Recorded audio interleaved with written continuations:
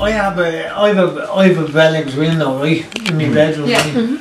All, my brother made this pole with a hook on it, but he, he, he's the only one that can open it. I can't. Yeah, you can't. Oh. And then if it's, if they forget to close it, the rain comes in. Yeah. And that happened in the bad weather for, for three days.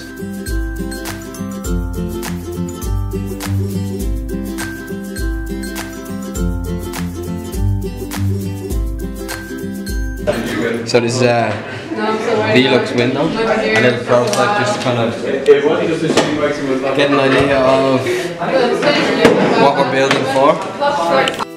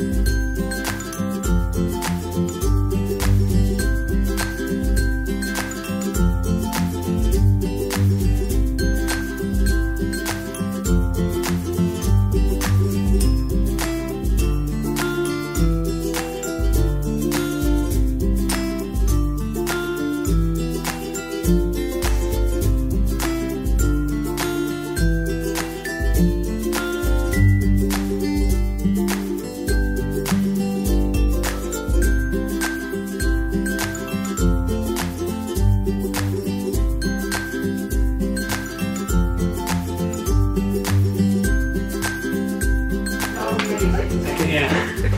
No, eh, I must say, gang, it's a great, it's a, a great system, Uh, and um, it does work.